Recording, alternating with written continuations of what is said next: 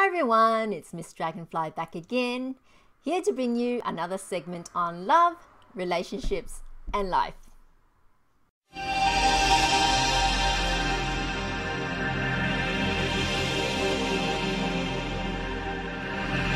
Now, it's safe to say that everyone has an ex. And for whatever reason, you just could not get along together. And so that's why you split up.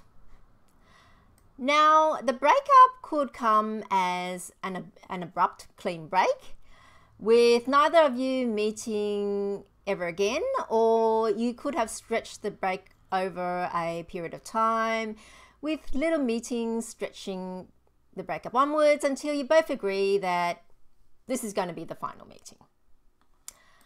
However, either way, a physical breakup does not mean that you've gotten over your ex and it's quite common for people not to have gotten over their ex for quite some time. And during this time, you're going to think about your ex. Uh, you're going to feel like contacting them again to meet up, or even ask them to be friends with you simply because you don't want to let go entirely and hang on to hope that, um, well, you want to hang on to something with them.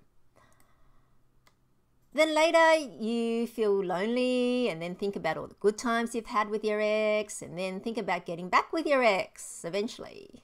That's where your thinking leads to. And you either consciously forget about the reason why you broke up in the first place or reason that, well, it will be different this time because you would now develop ways to handle the situation and not let it get out of hand again. So, should you get back with your ex? Now, think about the following. You obviously broke up with your ex because of a big issue that you both could not resolve. Uh, many people are willing to overlook the smaller issues, um, if you know what I mean. And now, has anything changed? And more importantly, has that big issue and difference gone away? Because usually it is a fundamental difference in your human nature um, that is the problem, such as uh, different goals or values that um, would be significant enough to cause a breakup in the first place. So I would say do not get back with your ex, no matter how tempting it is and how lonely you are right now. Because even if your ex agreed to get back with you, nothing would have changed, even though you would both be making an effort again at restarting it. But basically, you're still going to go back into the same situation you were before, as those differences were fundamental enough to have caused a breakup, and those differences were fundamental to your human natures, and that is something you cannot change.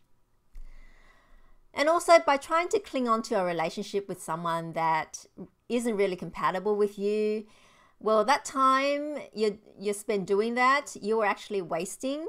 And then that could be better spent finding a truly compatible partner.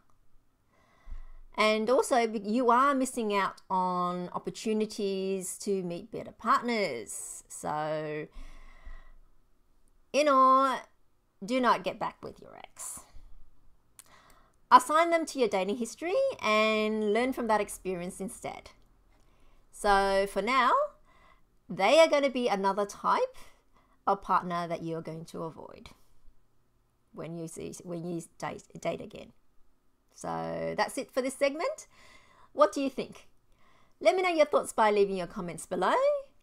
And if you've enjoyed the video, then don't forget to like, share, and subscribe to be alerted to when the next video is posted.